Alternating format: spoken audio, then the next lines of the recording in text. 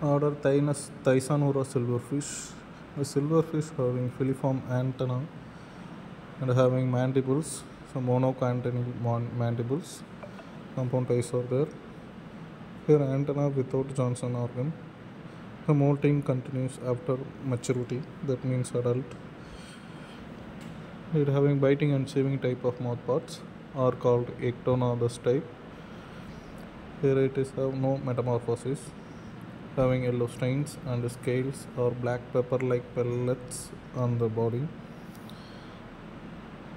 and having six legs or three pairs of legs with four segmented tarsi and stylia are present on lateral side of abdomen and cerci two pair.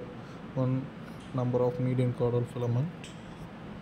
And actually it go for three years longevity here you can use cedar uh, oil as a repellent and sticky trap with petroleum jelly here ovipush are well developed and here we can see indirect insemination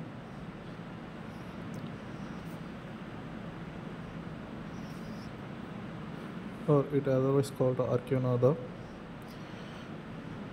There are about 500 species over there. It's a nocturnal habit. It actually looks resemble carrot shape or it is otherwise called carrot shaped body insect, flattened and silvery. Actually 8 mm to 19 mm length. 11 segmented abdomen segments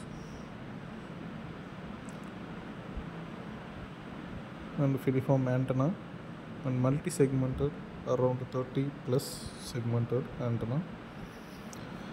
It's actually indicator of moisture in a home.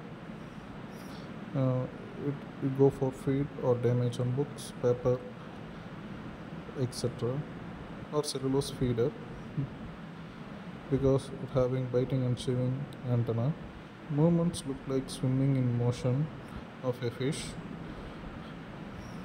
here there are so many familiar species are there thermobia domestica this species lives in warm building.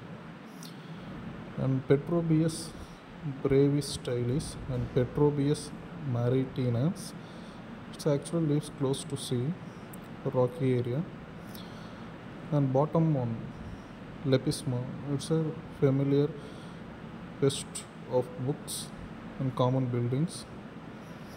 And also Tino lepisma lenida and Tino lepisma longicordata.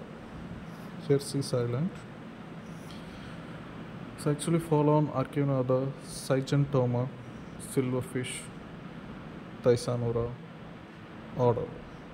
Apterygota.